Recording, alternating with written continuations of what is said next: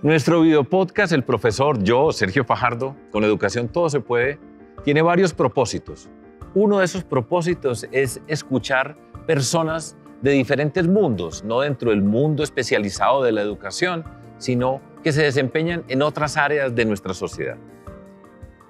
Nos interesa conocer cómo aprendieron, qué personas influyeron en su formación, de qué manera han avanzado en la vida, cómo crean, cómo se han transformado, cómo enseñan.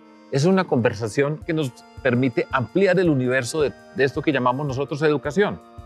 Hoy tengo como invitado a un personaje, pues que yo digo el nombre y todos ustedes saben exactamente quién es, Carlos Vives. Yo no tengo que presentar a Carlos Vives, solamente les tengo que decir que no se les olvide que nos pueden ver y escuchar en todas las plataformas de streaming nos pueden seguir en las redes sociales y no se les olvide nunca activar las notificaciones. Y si tienen comentarios, envíenos los comentarios. Los tendremos en cuenta para las próximas ediciones de nuestro podcast. Carlos, muchas gracias por estar acá conmigo, con nosotros en este video podcast. Y pues yo lo que quiero hacer contigo es hacer un recorrido de las múltiples experiencias que tiene, descubrir qué has aprendido, cómo has aprendido, cómo han pasado las cosas, cómo reflexionas sobre todo ese camino recorrido, con el propósito de mostrar que la educación es mucho más amplio que el espíritu que tenemos en el aula, sino muchas formas de nuestra sociedad nos permiten descubrir, aprender. Pero siempre me gusta arrancar por el comienzo. Un poquitico. Santa Marta, eh, allá haces parte de una familia tu papá era un médico, eh, tu mamá era una mujer paisa. En esa Santa Marta, ¿cómo empiezan esos primeros años? ¿A dónde vas a estudiar? ¿Cómo es el contexto familiar para el aprendizaje?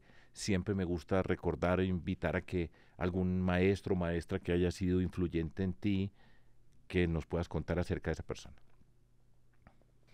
Sergio, gracias por la invitación a este video podcast y yo creo que es la primera vez que estoy en uno así.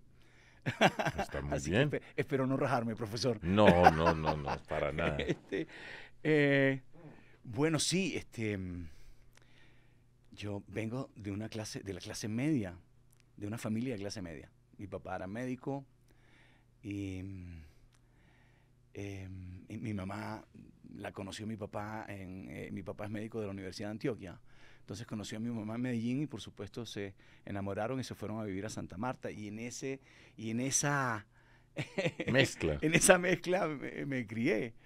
Eh, y una mezcla con mucha música, porque mi mamá traía esos tangos, ese dueto de antaño, esa música paisa, esa, música montañera y la carrilera, pero también toda la cultura del tango, porque mi abuelo era gardeliano, entonces y mi papá también tenía esa educación, además de, Caribe, pues muy, cubana, por decirlo de alguna manera, de la cosa caribe, del bolero, educados bajo el régimen del bolero y el romanticismo. Pero también eh, mi papá atraía a la casa y trajo a la casa a muchos de los juglares vallenatos. Entonces me crié un poco en eso, en una vida muy sencilla, porque mi papá siempre fue una persona muy sencilla y muy trabajador para la gente. Eh, lo quería la gente de Santa Marta, toda, lo quería, era una persona que em, siempre estuvieron como al servicio de la gente. El médico del que podía pagar y el que no podía pagar. Este, y, así me crié. Entonces me crié eh, en un lugar muy tranquilo y con muchos artistas, con muchos artistas, de los que me daban en los discos, de los que me daba la televisión o la radio, pero ese grupo íntimo de mis papás fueron muy especiales muy, muy especiales, porque... Eh, ¿Alguien eh, particular que tú recuerdes, así como un niño que veía las fiestas o las reuniones y de pronto alguien allá que, que te llamara especialmente la atención? Sí, sí, es que mi papá tenía, eh, eran todos médicos, pero eran médicos artistas. Farid tocaba la guitarra, cantaba, hacía voces, Jaime Correa, Farid Salja, Jaime Correa, Abraham Correa, cantaban, hacían voces. Las reuniones en mi casa eran muy musicales, se cantaba toda la música, pero se hacían arreglos, era, era, era muy especial. Era una, fue una vida para mí fantástica, una, una infancia muy fantástica. Y es es colegio, es la educación formal, ir a la escuela, ir al colegio. ¿Te acuerdas algo, alguna maestra? Sí, yo creo maestro que perdí, perdí me, me, yo me acuerdo haber perdido, ya, haber empezado a perder años.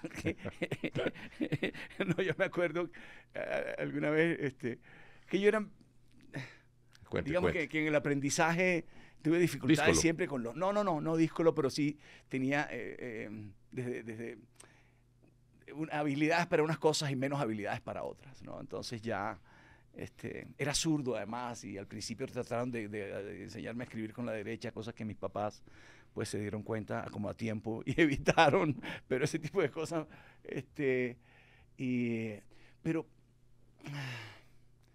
sí era una educación muy linda, la gente era muy mágica, la gente que me rodeaba. En, mi barrio donde vivíamos, eh, todos éramos médicos, todos eran médicos, pero había uno que pintaba al óleo y había otro que escribía canciones, tocaba uno y tocaba el jazz, la esposa tocaba valses peruanos, eh, había teatro, mi abuela tocaba el piano. Eh, y, y, entonces mi tía Alicia tocaba el acordeón. Entonces cuando descubrieron que yo cantaba, siempre me ponían ¿Y cuándo, ahí. ¿cuándo empezaste a descubrir? Que uno dice, mire, el niño que va a cantar mi, ¿a cuándo, ¿desde mi, cuándo empezaste? Mi papá, como a los seis años, mi papá tenía una, una grabadora eh, y, y, y, me ponía a cantar. Y cantábamos una canción de... Eh, cantábamos muchas canciones, pero los vallenatos siempre estuvieron allí y cantábamos juntos una canción de, eh, de del hermano de Alejo, eh, que se llamaba Sin ti, de Nafer Durán, Sin ti. Entonces una vez, él, él, me la cantaba, me decía, Sin ti no puedo estar, mi corazón se desespera, no lo deje. Entonces yo le cantaba. Entonces él, él cuando oyó mi voz y la grabó, él, él, sintió algo y fue y se la mostró a todos los amigos. Yo tengo ese, ese recuerdo, sí. pero seis claro, años más o menos. Seis años. Y él, él le mostró esa grabación a, a, Farid, a Abraham, a Jaime, a Gonzalo, a, a, todos esos médicos que estaban, que siempre formaban parte como de, de, nuestro núcleo social, que siempre creí que eran de Santa Marta y después descubrí que venían de las provincias. Por eso a mi banda le puse Carlos Vives y la provincia. Claro. Porque venían de pueblos de La Guajira, de pueblos del Cesar, de pueblos del Magdalena. Era, era, gente que había migrado de sus pueblos para ser profesionales y trabajar como profesionales en Santa Marta. Okay. Entonces me trajeron un conocimiento increíble eh, y una forma de ser que me enamoró siempre. Y al final, cuando el día que empecé a buscarme como artista, Pero, fueron un, referentes un para momentico, mí. Carlos. Uh -huh oyeron la voz de este muchachito, Ajá. seis años que tu papá te grabó, sí. entonces ¿qué pasa ahí? Mi papá decía que yo tenía la voz ronca, todos decían que yo tenía la voz ronca, como que nunca, como que nací con esta voz que tengo. Entonces, claro, se sentía muy raro cuando un niño hablaba así, pero siempre, ellos, ellos decían, pero Carlos tiene la voz ronca. Entonces, eh, eso siempre pienso en que no, no, no tuve tantos cambios de voz realmente, sino que ellos sintieron que ya yo tenía una voz gra eh, eh, gruesa cuando era chiquito. Entonces, claro, por supuesto, siempre estaba en la novena, eh, con mi abuela, siempre me iba para la misa para cantar con mis tías. Eh, cuando llegaban los viernes y cantaban en mi casa, Carlos, cántate una canción. Um, entonces siempre, y después en el colegio, eh, me daba pena y me ponía a cantar de espalda porque me hacían reír, bueno, me pasaban muchas cosas, pero siempre la música estuvo allí. Em, y de una manera muy diversa, muy rica. Todo ¿no? aprendizaje por imitación, por estar metido en un ambiente. Total. Y te entraba total, por todos lados, te invadía esa música. Total. Y ¿cuándo empiezas tú a sentir, bueno, después de estar en Santa Marta vienes a estudiar a Bogotá? Sí. ¿Cómo es ese salto? ¿Cómo es esa decisión de salirse de allá y qué escoges? ¿Por qué escoges estudiar lo que estudiaste? Sí, eso, eso fue, fue un momento como muy complicado que me marcó en mi vida. Y yo creo que hoy eh, tengo claro o, o lo veo en, en, lo que hago que nunca me fui de ese mundo. ¿Sí? Uh -huh. Que ese mundo me marcó. Yo, eh, por supuesto, una manera de, Llegué con mucho miedo a Bogotá, con mucha eh, timidez, con mucho miedo a un mundo diferente al que estaba acostumbrado, sin mi papá. Una tragedia así de esas para un niño. Uno a los 10 años, en esa época, 11 años, era un niño. Este, hoy son más maduros los niños.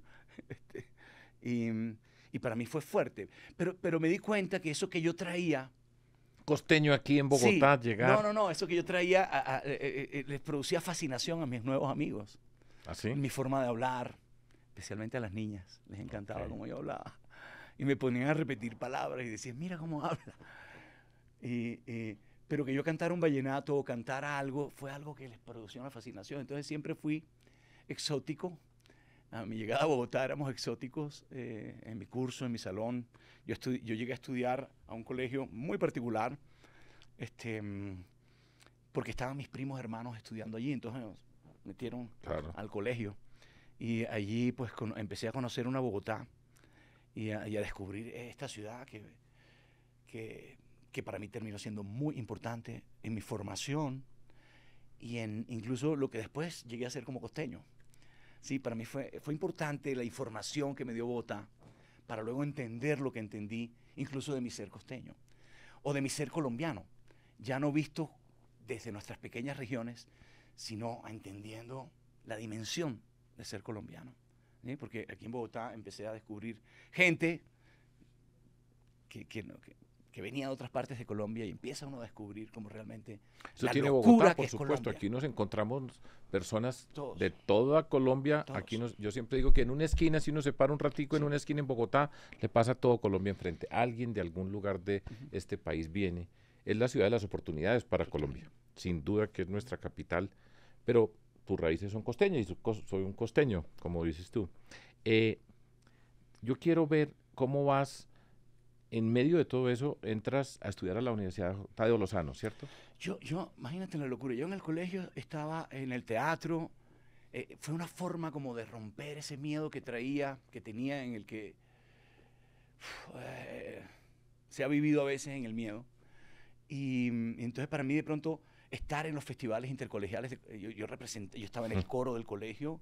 Eh, eh, después de ese colegio me fui a un colegio que se llamó el, el, Hispanoamericano, de José Manuel Macías y Mateo Matamala Mateo, dos profesores que ah. vinieron de Valladolid, españoles, uno químico puro, otro matemático puro, eh, maravillosos, a quien les debo además una, una, educación hispana, aprecio por, lo, por la hispanidad, así que, que, creo que forma parte de nuestra educación fundamental y y, yo le agradezco mucho entender esa parte, ¿no? Y, irme más allá de, los clichés de nuestra hispanidad. Eh, em, y bueno, valoraron mucho, descubrieron que yo cantaba, entonces yo estaba en el coro, representé al colegio como solista en las murgas que llamábamos aquí. Ah, entonces para mí fue fundamental, pero cuando terminé el colegio traté de ser médico, como mi ¿Ah, papá. ¿Ah, sí? Sí, sí, sí. Aunque cantaba y, y me iba muy mal en química y me iba muy mal con en, matemáticas mi matemáticas sí me iba muy mal profesor no pero eso no importa. pero y, y, y traté de estudiar y, y, por cosas del destino terminé un día pasando frente a la Escuela Nacional de Arte Dramático acompañando a una compañera del premédico una amiga italiana que estudiaba en el premédico en la Javeriana conmigo, terminé descubriendo la, Escuela Nacional de Arte Dramático, me llamó la atención. Eh, curiosamente, el día que pasé por allí, eh, en la cartelera de la escuela, había un hecho escénico. Había hecho un hecho escénico. E, era, es la casa donde, que era de, de, de Gaitán. ¿Ah, sí? Sí. Yo ¿Y entonces qué viste ahí? nosotros caminábamos allí cuando de repente había un hecho escénico, habían actores en el techo saliendo por la ventana, unos hacían música, y a mí me llamó la atención eso, ¿no? Porque bueno, yo había estado en un teatro de colegio, y, eh, pero, pero eso me llamó la atención, y eh, el hecho escénico desaparece, se cierran las puertas de la escuela, y a mí enseguida lo primero que se me... La tendencia que hago es que me voy a ver eh, una cartelera que había y, descubrí que se llama la ENAD, Escuela Nacional de Arte Dramático de Colcultura y la Universidad Nacional. Y estaban abiertas las inscripciones y ahí estaban las fechas de los exámenes y, y, me devolvía a la Javeriana y todos esos días seguía con la bata y todo el cuento y aterrado en la morgue y toda esa vaina. Y, empecé a ir a los exámenes, los presenté, pasé, pasé y un día terminé en la Escuela Nacional de Arte Dramático. ¿Y este chao medicina? Y, claro, chao medicina. Y empecé como en eso. ¿Y ahí, qué? ¿Con qué personas te encontraste? ¿Qué personas te, marcaron en algún sentido la atmósfera, el espíritu de lo que pasaba ahí. Sí, tuve una gran profesora de teatro eh, que me enseñó cosas fundamentales del teatro, eh, expresión corporal y muchas cosas, Beatriz Camargo. Em, y empezaron a, pasar cosas simultáneamente porque empecé a cantar en, lugares en Bogotá. Me fui a, estudiar, y estudiaba de día esto y estudiaba de noche otra cosa. Eh, me fui a estudiar a la Universidad Jorge Tadeo Lozano, publicidad. Entonces empecé como a mezclar cosas y a cantar en los bares, estudiar publicidad, teatro. Em, empiezo a hacer comerciales, a buscar trabajo, a trabajar. Trabajaba de mesero en Ramón Antigua, que era el famoso lugar que tenía Leonardo Álvarez. Álvarez, que después me dio toda la confianza. Y, es el único lugar en mi vida que yo he bailado en una mesa. Sí, sí, sí. Pero hace por ahí 100 años más o menos, pero allá fue en Leonardo, Ramón Antigua. Eh, yo llegué de mesero por una novia, por Emma, y, y Leonardo vio que yo cantaba y después empecé, me subí a cantar. Y no solamente me subí a cantar, yo subí a hacer imitaciones, subí a payasear, joder.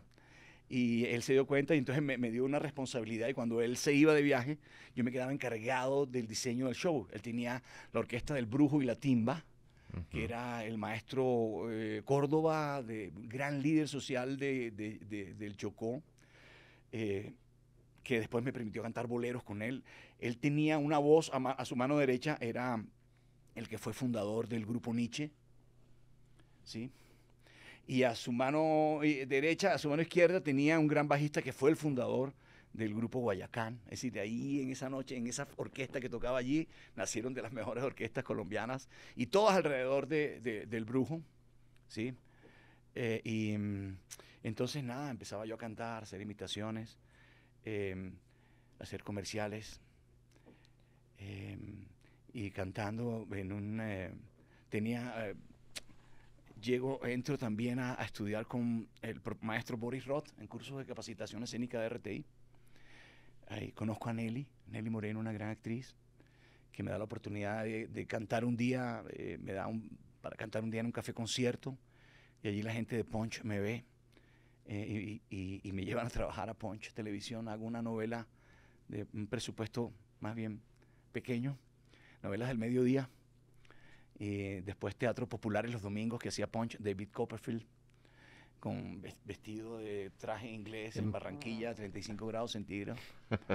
bueno, entonces vamos a aterrizar un poquitico en medio de este vendaval, porque este señor es un huracán. vuelvo y repito, yo me puse a leer y dije, no puede ser, porque además en la, en la si ustedes lo miran en, Wikipedia tiene los 80, los 90, esos son, y decía, ¿a qué horas, por Dios? Pero vamos a, hacer una lista entonces de, en medio de todo esto, estar expuesto a tantas cosas, porque evidentemente has estado expuesto a muchas emociones de todo tipo, va apareciendo una persona que va adquiriendo su identidad. Estabas diciendo, yo hacía chistes, yo cantaba, yo actuaba, yo bailaba, de todo, ¿sí? Pero poco a poco o detrás de todo eso va apareciendo un señor que se llama Carlos Vives, que tiene, construye una identidad que se convierte, para mí, eh, y yo no soy ningún experto en música, ni mucho menos, pero se convierte en la puerta de entrada a la persona que le abre la puerta a la expresión musical, cultural colombiana al mundo. Alrededor de tu trabajo, clásicos de la provincia, cuando aparece algo nuevo. O sea, en medio de todo eso creaste algo. Un poquitico acerca de toda esa cantidad de imágenes para que vayas sintiendo y dice, yo soy esto, esta es mi identidad, esto es lo que yo me he construido, hoy soy Carlos Vives. Es que mm, yo creo que la educación es todo eso que nos pasa, es ese núcleo familiar, es esas vivencias, es esas circunstancias de la vida que te llevan a otros lugares que te ponen en la calle. Em, lo que oyes de la música, lo que te dicen los medios de comunicación, la televisión para mí fue importantísima. ¿Sabes? Yo, era, éramos en Santa Marta, éramos muy, muy este, televisivos. ¿no? Para mí Pacheco fue importante, fue realmente importante. Claro. Yo a veces toco el tema de Pacheco y la gente sonríe y la cosa. No, Pacheco fue un personaje de la televisión que usó la televisión para enseñarnos a los colombianos a entender nuestra diversidad. Y a entender todo lo que somos, ¿no? Y hablarnos de cómo era el de Nariño y el Pastuso y el País. Y, y nuestra televisión cuando no producía para exportar. Yo llegué a una televisión que trabajaba con la novelística local, que trabajaba con los insumos de la localidad y de nuestra diversidad. Entonces para mí esa formación fue muy importante. Entonces mira cómo yo voy sumando, tú hablabas de colombianidad.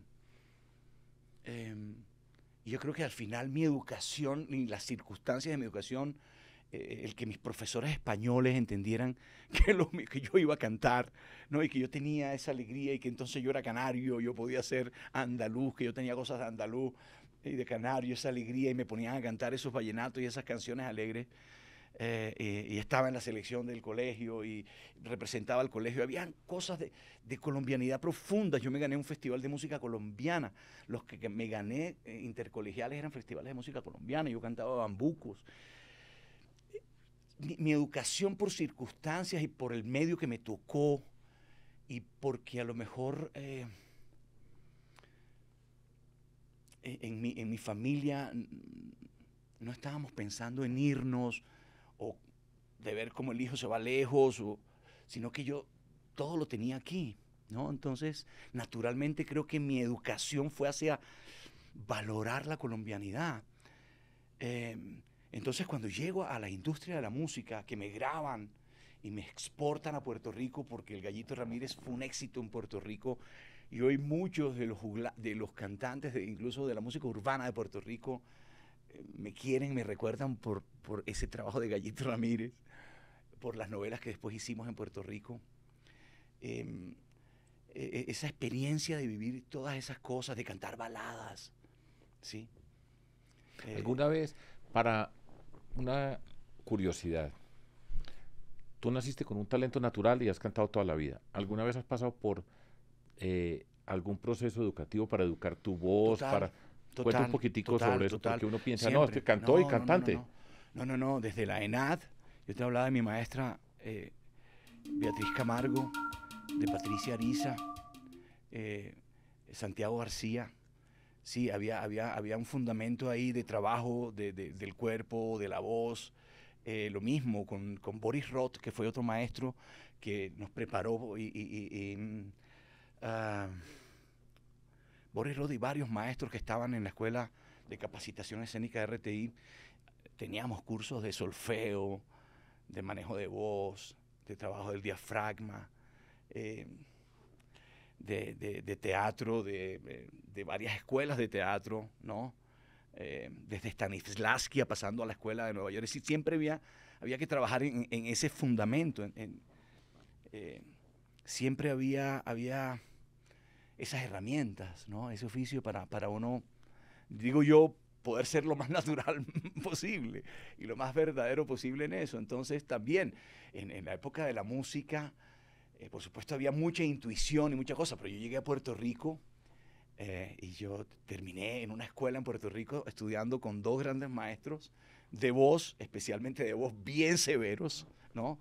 Eh, que habían trabajado con una nueva generación de cantantes en Puerto Rico y yo llegué por una manager que tenía ya a trabajar con ellos. Entonces sí, sí hubo cierta información importante que recibe uno de la academia y que es importante, porque son insumos fundamentales para al final uno moldear lo que uno tiene que moldear. Sin esos insumos eh, no, no, no, hay manera como de, de, descubrir entonces lo natural que te decía. Carlos, yo recuerdo alguna vez hablando con Juanes decía, Carlos Vives es el patrón, Carlos Vives es el papá de todos nosotros.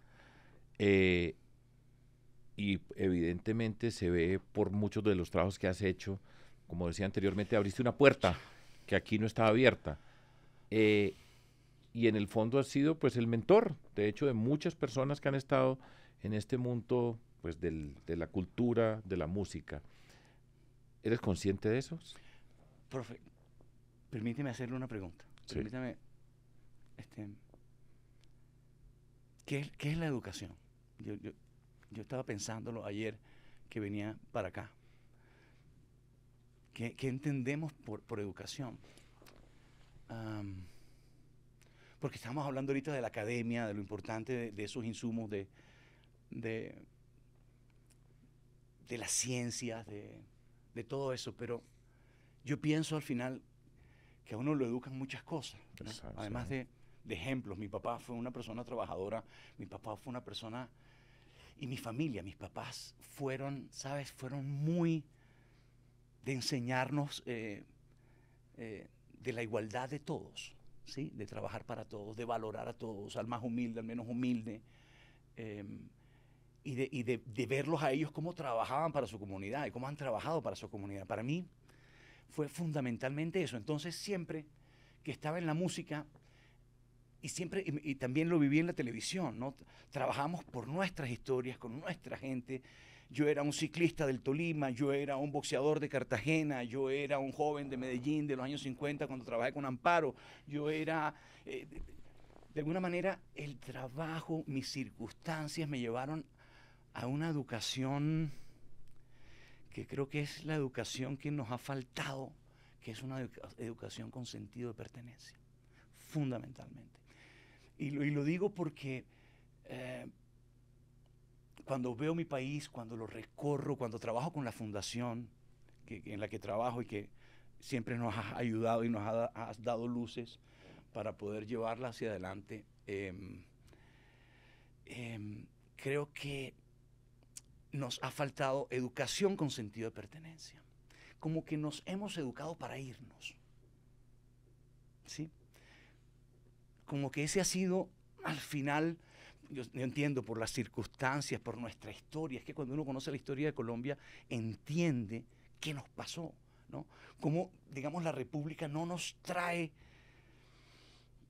lo que debió traernos para entonces reconocernos y, enfocar nuestra educación con sentido de pertenencia, con compromiso con la localidad, desde el entendimiento de todo lo que somos. Entonces, aprender. Mira, yo me. Yo, déjame que hable como loco y yo te decía que esto va a ser muy desordenado. Pero yo me paro en la Ciénaga Grande cuando voy a los palafitos a trabajar con Claudia, con mi fundación, a trabajar con las comunidades, a hablar de las cosas que hablamos allá y de lo que soñamos y las transformaciones que soñamos, o en el barrio Pescadito, donde vamos a trabajar con la comunidad. Eh, y, y yo digo, ¿por qué esto está así? Nos ha faltado educación. Nos ha faltado educación para entender el lugar donde estamos. ¿no? Entonces veo que nos ha faltado educación a todos a los más ricos, a los más pobres. Nosotros en la clase media siempre también estábamos mirando para otro lado. Eh, y entonces creo que la educación es importante y todo eso, eh, lo que yo digo, las, em, ¿cómo se dice académicamente? Las materias, las cosas, la ciencia, eh, em, son importantes, em, pero valorando el lugar donde estamos y cómo nos necesita y con qué sabiduría nos necesita y qué sabidurías hay allí que nos pueden servir a que, a que, esto sea cada vez mejor, porque tiene que haber una responsabilidad con la localidad.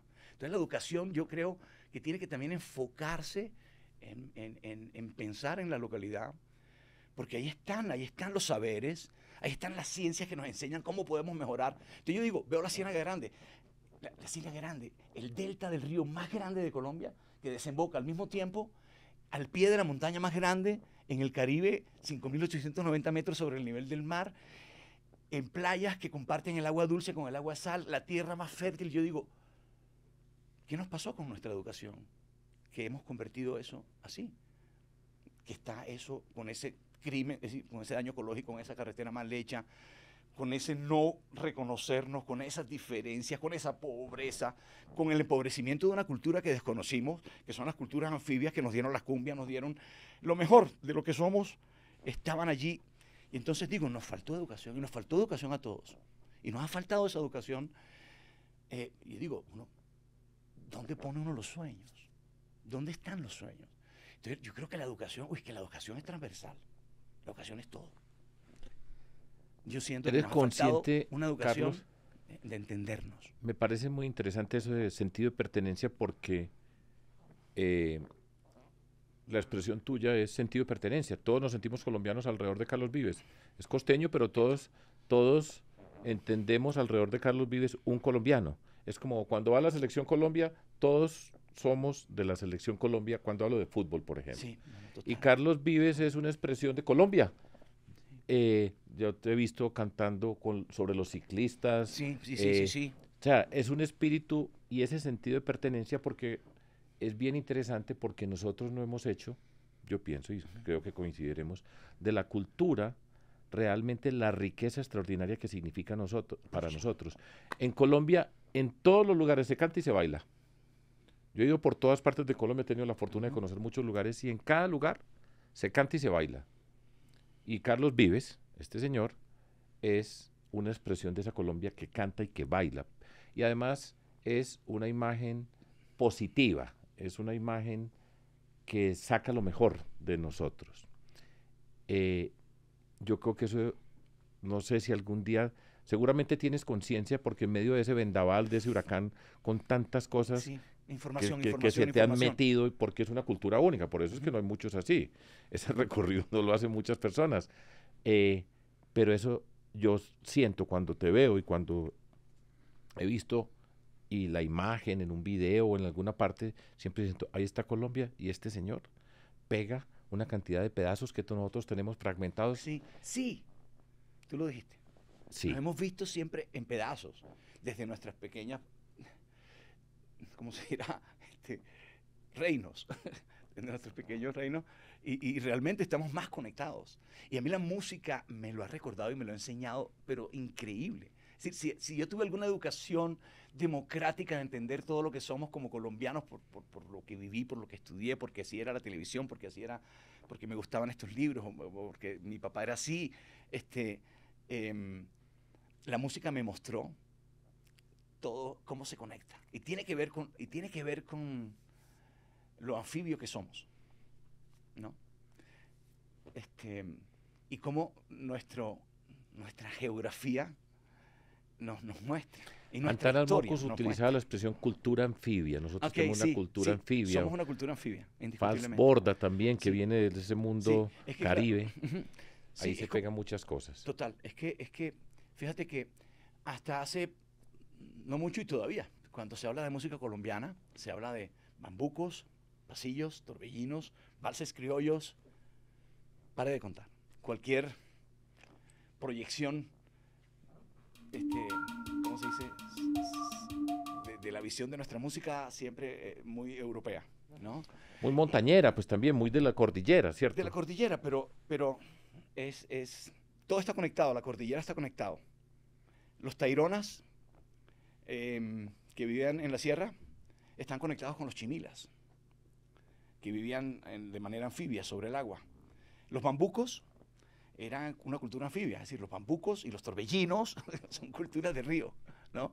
Es decir, el río nos conecta, pero no solamente el Magdalena, sino que el Magdalena tiene afluentes y entonces uno entiende el vallenato cuando entiende que el río Cesar es un afluente, eh, es un afluente del Magdalena, y entiende uno el espíritu cumbiero del vallenato y el origen cumbiero del vallenato. El origen del vallenato es cumbiero porque es chimila, es la genética que está en la sangre después del campesino que cría el ganado y se inventa el vallenato, el campesino. Este, pero todo está conectado. Entonces, no podemos hablar de los pueblos taironas sin hablar de los cenúes, no podemos hablar de la Sierra Nevada sin hablar del Cerro de Maco, no podemos las ciénagas de Lorica desconectarlas de la depresión momposina y de y los montes de María. Es decir, todo está conectado. Y eso es fantástico. Y eso es genial, porque es lo que nos ha permitido ser ricos con nuestra música y, y poder disfrutar de todo eso que tenemos y ver que los bambucos son tan anfibios como las cumbias, mientras que hemos pensado que son mundos completamente diferentes. Entonces es una visión de país mucho más conectada con todo lo que somos, conectado con celebrar que somos españoles, que somos indígenas, que somos africanos, pero que también somos sirio-libaneses, y también llegaron los alemanes, y también llegaron estos y los otros, ¿no? Y los, los arrieros, y, que Restrepo es un pueblo de, España, de, Asturias, y que somos canarios, y por eso me como las S porque soy andaluz, y, y descubrir una cosa increíble que no, que yo siento que no sé por qué no nos hemos sentido tan orgullosos. Pues yo creo que has hecho una parte muy importante dentro de toda esta, porque además termina siendo un historiador. Ah, no. Sin pretender ser un académico, un historiador mirando una mirada única de todo ese mundo. Y encuentros con personajes muy curiosos en la vida que siempre te dejaron algo.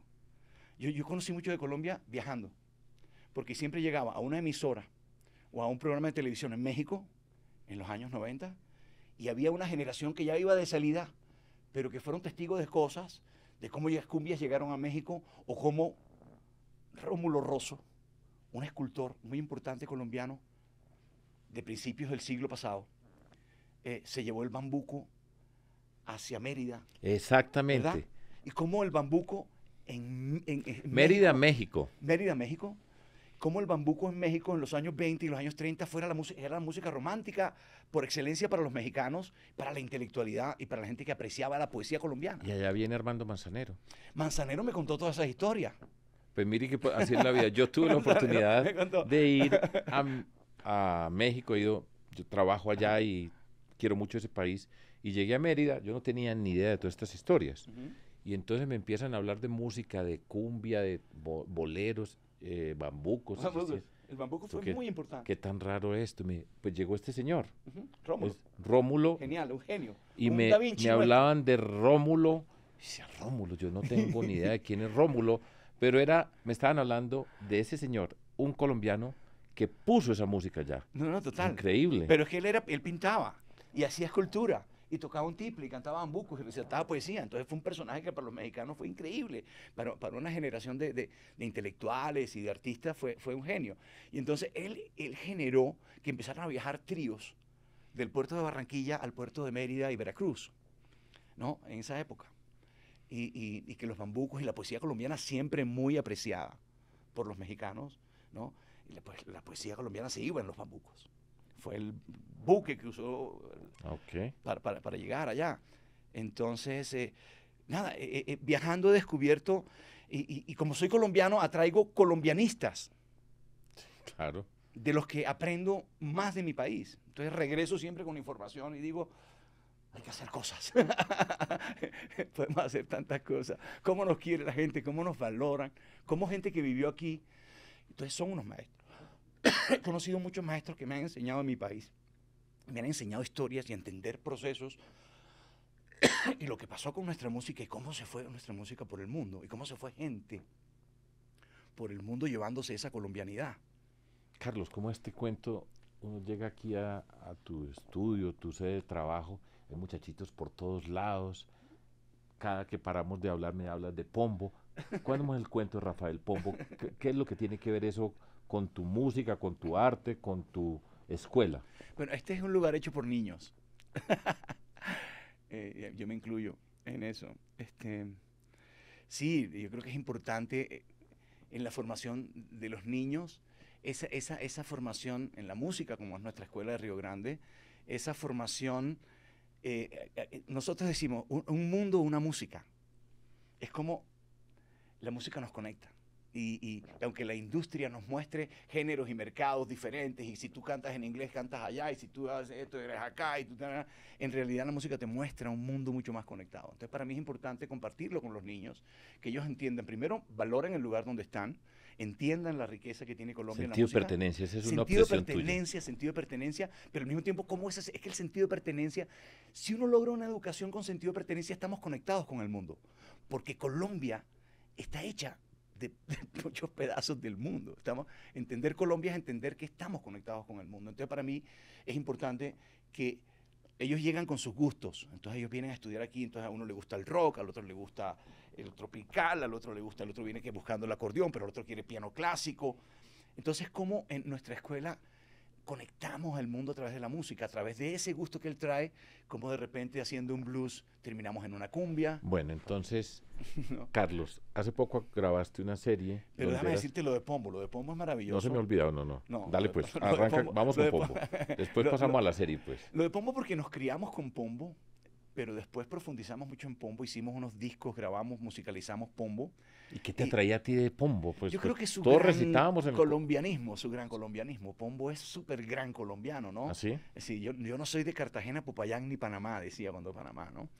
Ni del Valle Magdalena, ni del mismo Bogotá. Una tierra tan chiquita no me llena el corazón. Además que escribía bambuco, él no sé, él lo sabía, pero Patria grande necesita, soy de toda la nación. Yo soy de Colombia entera, de un trozo de ella jamás. Y ojalá más grande fuera, que así me gustara más.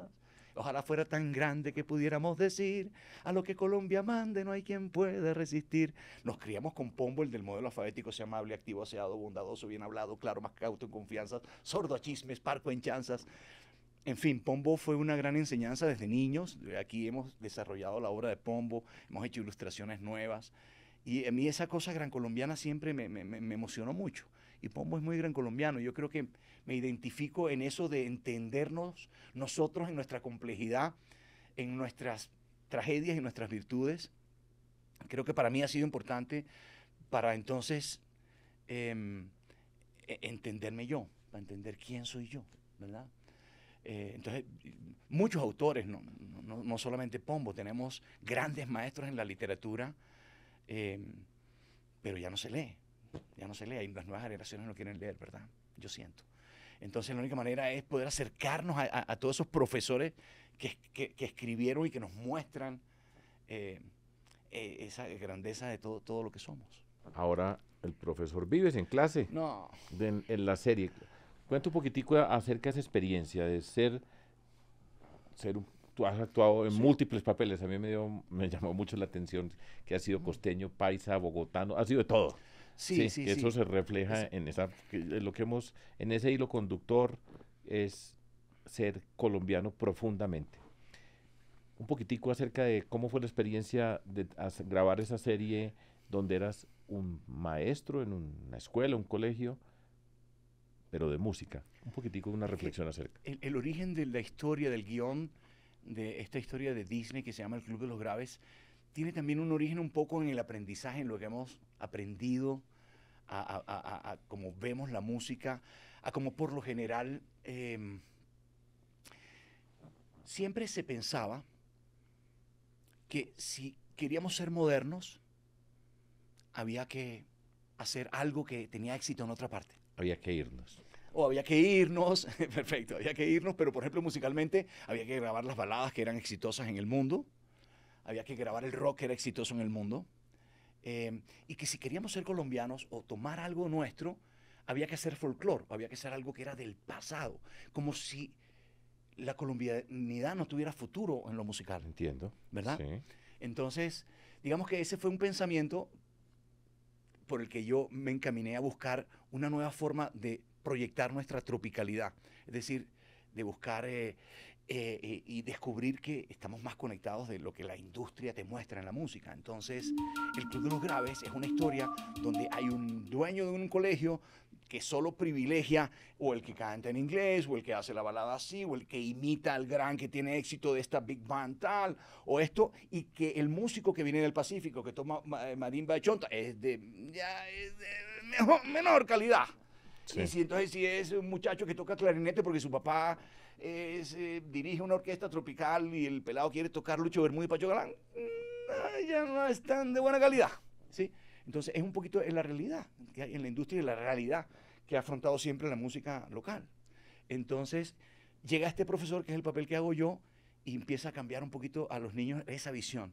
Entonces, cómo desde sus identidades, cómo desde sus, eh, desde sus valores, de esa enseñanza, de ese muchacho que venía del Pacífico, con esa, ese bagaje, de esa información, de esa cultura, de esas vivencias, eh, cómo podía encontrar la modernidad a partir de todo eso. Entonces, por supuesto, va en contra de todos los pensamientos de este rector, que es el que maneja el colegio. Entonces, por supuesto, todo lo que el otro desvalora, este lo valora. Entonces, es muy bonito porque al final lo que muestra la serie no es que, no, es que hay que ser de aquí porque ser No, es que como siendo de aquí, somos del mundo. Cómo formamos parte del mundo. Cómo el mundo de alguna manera disfruta cuando uno se conecta desde la colombianidad. ¿no? Tú has sido un maestro, yo creo, eh, para muchas personas, para muchos artistas. Y maestro en el sentido de el ejemplo, de mostrar que se pueden hacer las cosas. Lo que estabas describiendo, valorábamos lo que viene de otras partes y nuestra música era como si estuviéramos en el pasado. Y contigo fue el salto, un salto a tener identidad nuestra, pero ser parte del mundo. Y ahora, ahora me estabas diciendo que un, un artista colombiano, una artista colombiana, un músico, música, toca en cualquier parte. Sí. ¿Por qué es que es eso? Porque somos así, como colombianos hemos, nos hemos criado con música de todas partes, hemos admirado toda la música del Caribe, lo cubano, lo puertorriqueño, la salsa. Mira, eh, la salsa no tiene un origen en Cali, Cali es capital de la salsa. Em, nos criamos con los bambuco, nos criamos con la música española, nos criamos con las baladas, nos criamos, entonces tocamos, entonces nos identificamos con México, nos sentimos mexicanos, podemos tocar la música mexicana, nos sentimos que nos conectamos con Cuba, para los colombianos es fácil tocar un son, cantar un bolero, ¿sí? Eh, eh, no siempre lo mismo le pasa a ellos cuando uno les pide que toquen una cumbia, por ejemplo, ¿no? O no les pasa lo mismo a, cuando uno le pide a un mexicano que cante un bambuco, o le pide uno a un peruano que cante un pasillo o un joropo. En cambio, nosotros, por ese lugar, por ese cruce de camino, por esa historia que nos pasó, por ese lugar geográfico, hemos recibido toda esa información. Entonces, yo siento, eh, yo voy a Montería, y, en, unos minutos antes de cantar una canción hago un arreglo con los músicos de allá para cantar algo que no hemos tocado nunca juntos. ¿Así? ¿Ah, sí, pero yo sé que ellos me dan la talla. Eso, eso no lo puedo hacer en otra parte. Porque, por la información que tiene el músico colombiano. El músico colombiano tiene una información importantísima que nos permite, cuando emigramos, eh, trabajar en muchas partes, ¿no? Trabajar en muchas partes como músicos. Y, y esa información nos las da como esa, esa, esa riqueza de, además de ser tan diversos, haber recibido tantas cosas de tantas partes. ¿no? Una pregunta, Carlos. Eh, ahora estamos viendo el auge del reggaetón, por ejemplo. Cuéntame un poquitico, ¿cómo entiendes tú el reggaetón? ¿Cómo es una expresión que tiene unas raíces grandes colombianas o por lo menos un epicentro colombiano muy grande?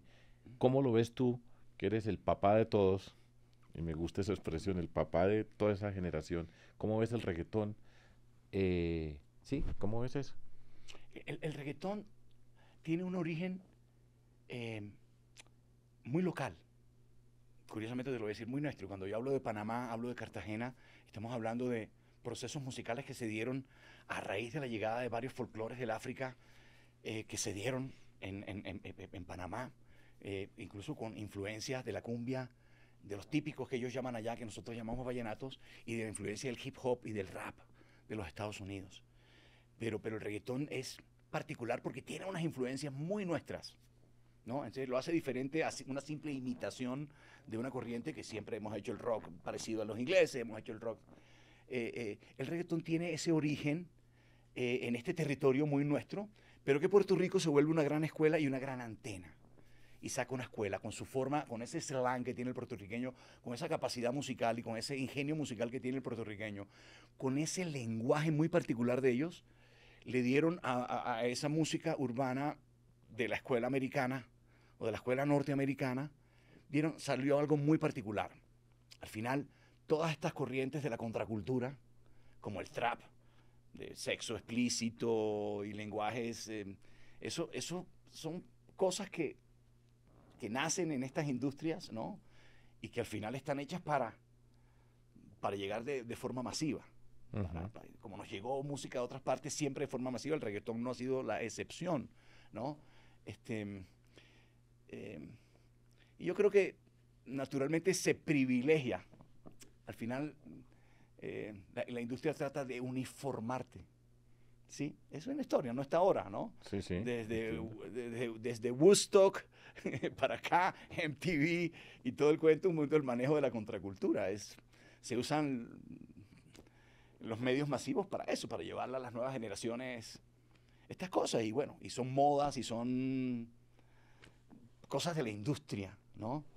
Eh, algunas eh, más ingeniosas, más divertidas, pero, pero por ejemplo, a nivel de patrones eh, eh, son muy ancestrales. El reggaetón, como reggaetón no es nuevo, lo nuevo son los computadores eh, y, esto de los lenguajes como el trap y de los antivalores y la contracultura.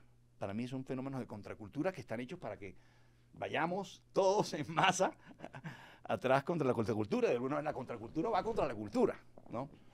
Pero eso ha estado en la industria siempre. Yo lo entiendo así. Yo lo entiendo así. Y hay matices en, todo esto, hay matices, ¿no? Eh, y nada, al final siempre las músicas locales, de una manera, y para, para mí ha sido, para nosotros es muy fácil que trabajamos con cumbias, con chandés, con toda esta locura de ritmos que tenemos, poder conectarnos con esos sonidos. Muy fácil, porque esos sonidos están hechos de cosas también nuestras. Entonces, es muy fácil.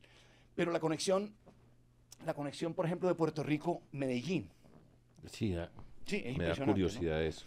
Pero, pero fíjate, yo creo que tiene mucho que ver también con, con el descubrir esa, esa cultura del hip hop que se genera en Puerto Rico, como en Medellín crea esta nueva escuela.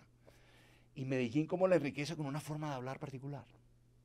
Fíjate que el reggaetón de Medellín viene del reggaetón puertorriqueño, que a su vez viene de las chapetas cartageneras y el reggaetón panameño, ¿sí? y de las influencias del hip hop, em, pero con un slang particular. Fíjate que el puertorriqueño tiene una forma particular de hablar que usa, que hace sus canciones, sus letras con eso, y el paisa igual.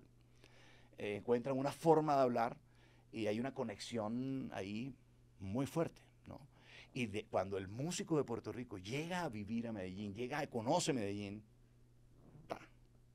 se le vuela la cabeza. Es una, una cosa de amor increíble, de ver ese lugar, de ver, eh, de ver esa tierra, de ver eh, la gente, la belleza de la gente, las mujeres, ¿no? Y la contracultura, que está en las culturas guetos. ¿sí? Que Medellín tiene lo suyo, Puerto Claro Rico sí. tiene lo suyo, y ahí se, se cultiva mucho el gueto, ¿no? Entonces, tiene que ver con todas esas culturas de la contracultura. Eh, ¿Me podrías hablar de algunas personas de este mundo tuyo y destacar algunos elementos que aporten, que tú digas, Juanes significa esto? No, eh, una persona, otra.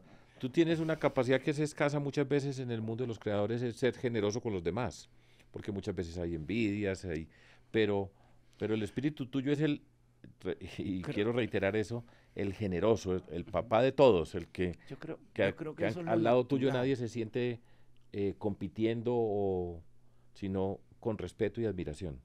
Sí, yo conocí mucha gente así. Yo creo que eso, eso es, el- lo natural.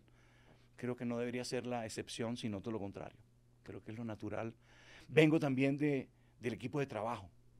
Sí, vengo del teatro, del coro, Ok, del entiendo. equipo de teatro, de la televisión, de vamos a unirnos para lograr esto, eh, de- de- del grupo de música, de mi compadre Egidio, con Maite, con todos, todos deben tener un lugar, todos representan algo importante.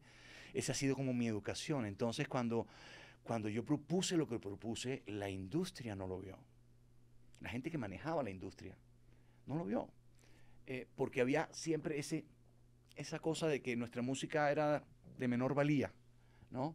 Entonces, eh, cuando funcionó a Carlos Vives, la, misma, muchas per- personas pensaron, ah, bueno, eso le funcionó a Carlos Vives porque es Carlos Vives y porque está en la televisión y el personaje de Escalona fue chévere y todo, pero eso no es.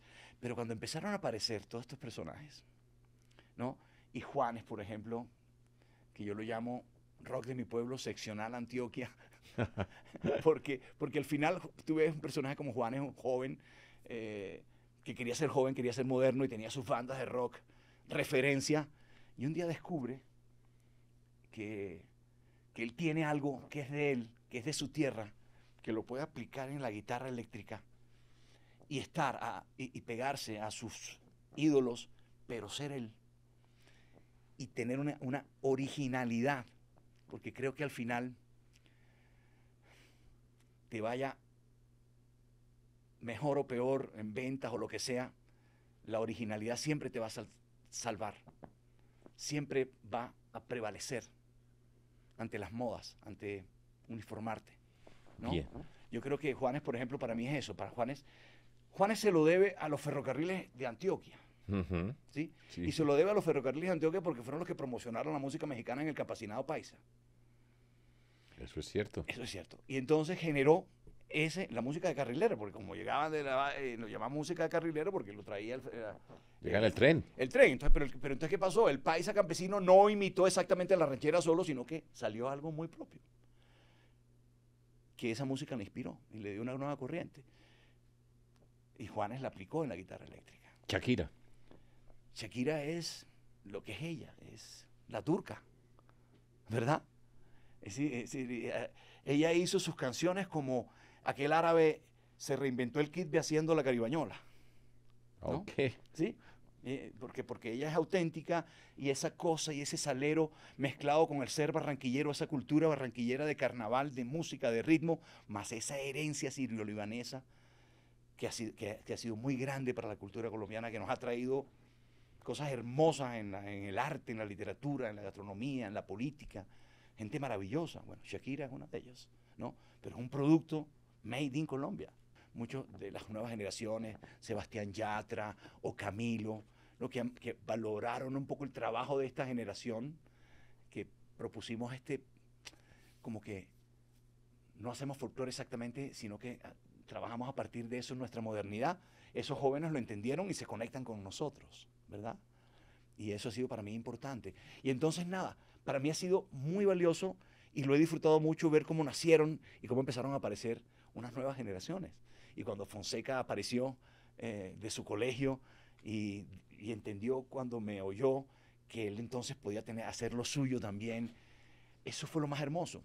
Porque yo te decía, claro, la industria no lo vio y no sé qué, no sé qué, y eso no va a pasar nada, y de repente empiezan a aparecer todas estas figuras, empiezan a, todas estas figuras a tener éxito. Entonces, de, alguna manera ellos avalaron el éxito nuestro, de que no era un camino errado, um, no era un camino prestado, no era el camino, no, no, no es que Carlos Vives fusionó el rock con el vallenato, no, no, no. Si tú aplicas un patrón vallenato de la caja en un bajo eléctrico que pasó antes de Carlos Vives, eso suena muy moderno. Si aplicas un patrón de cumbia en una guitarra eléctrica Stratocaster, la que usaron los Beatles, eso suena muy rockero.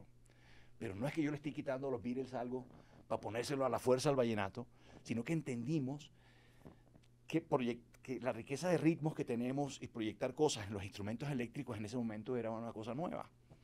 Una visión diferente a la visión de ver, de tratar de que nuestra música fuera cubana, o tratar de nuestra música fuera puertorriqueña, o tratar de nuestra música fuera mexicana sino que era un camino nuevo. Entonces vino una nueva generación que ha tenido mucho éxito y siguen saliendo nuevas generaciones de, de, dentro del reggaetón, dentro del pop, dentro del de el, el, rock, siempre con una, con una matriz colombiana. Y eso nos dio como algo, como que para mí es, es como que, wow. Es decir, yo veía el movimiento. Yo, yo, yo, a mí me, ¿sabes quién me, ¿sabes quién me educó bastante que no te he hablado de ese profesor? Charlie ah. García. ¿Charlie García? Sí. ¿Por qué? O, o Cerú Girán. Por lo que me decían sus canciones, por lo que me decían sus canciones. Como yo vivía en la calle, para mí fue importante encontrarme Cerú Girán, Sui Generis, todo ese momento del rock argentino, para mí fue importante, incluso para entender lo que yo podía hacer con lo mío. Como ellos, con su influencia inglesa, americana en el rock, pero con una gran pasión por el tango y con una identidad muy fuerte y con historias de su Buenos Aires, historias de sus localidades. Eh, me enseñaron no a que yo copiara a Charlie García, sino a buscar mi camino para hablar de Bogotá, para hablar de Medellín, para hablar de nosotros y para aprovechar esa riqueza que teníamos de patrones y hacer eso que yo llamo el rock de mi pueblo, ¿no? que es hacer música moderna con mucha fuerza a partir de nuestras raíces. Hagamos una última pregunta, Listo. Carlos. Entonces, yo te puedo ver desde ese niño que crece allá en Santa Marta rodeado de esos médicos que cantan con toda esa cantidad de voces, todo ese mundo que has recorrido, y tú tienes hijos y tienes hijas. Uh -huh. Y entonces esos hijos y esas hijas, ¿cómo están creciendo hoy con un papá pues tan famoso que vive alrededor de todo esto? ¿Cómo, cómo educas a esos hijos tuyos? Yo trato de enseñarles lo que aprendí de mis papás. Y es que hagan el bien sin mirar a quién. ¿Sí?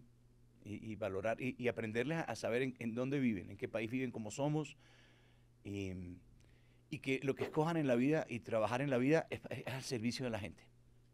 Es al servicio Esa de la es gente. tu lección. Sí, para mí es como trabajamos para la gente. El músico, el actor, el médico, el profesor, eh, todos trabajamos para nuestra comunidad. Todos queremos y todos debemos trabajar para sacar adelante nuestra, el lugar que amamos. No importa, tú, los sueños cada quien los pone donde quiere. Uh -huh. Cada quien tiene derecho a, a, a, trabajar donde quiere y a soñar con estar en un lugar, con vivir. Eh, eso es de cada quien. Eh, pero ellos tienen que valorar.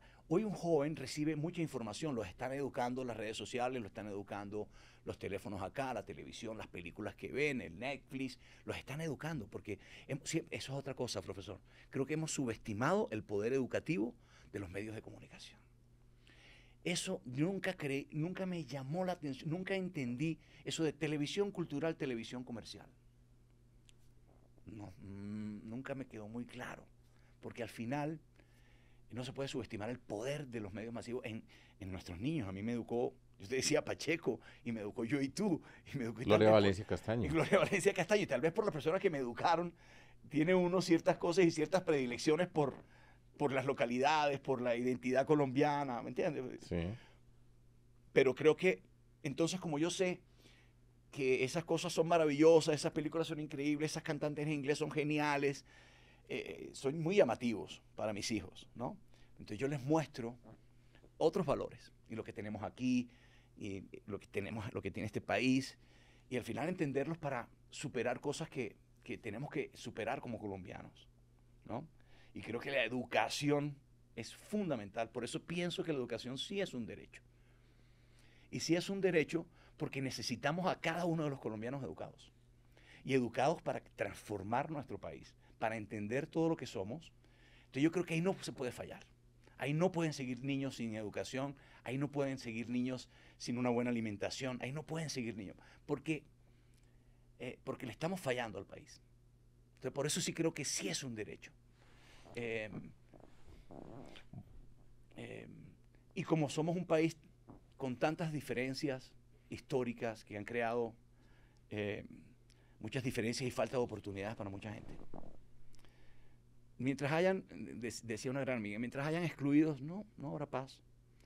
Y creo que la educación es fundamental para que no sigan habiendo excluidos. Esa fue la conversación que tuve con Carlos Vives, nuestro cantante insignia. La mayoría de las personas del mundo de la canción en Colombia reconocen en Carlos Vives la persona que abrió las puertas a hacer de este mundo musical tan extraordinario que tenemos en Colombia parte del mundo global. Es el profesor, él ha sido profesor para muchas personas, una conversación distinta, diferente, escuchando momentos de su vida que habitualmente no conversamos sobre ellos. Recuerden, nos pueden ver y escuchar en las plataformas de streaming, en todas las plataformas de streaming. Activen las notificaciones. Nos pueden seguir en las redes sociales. Y si tienen comentarios, por favor, siéntanse con toda la confianza para enviárnoslo. Los tendremos en cuenta. Eh, los incorporaremos en nuevas emisiones de nuestro video podcast El Profesor, yo, Sergio Fajardo, con Educación Todo se puede.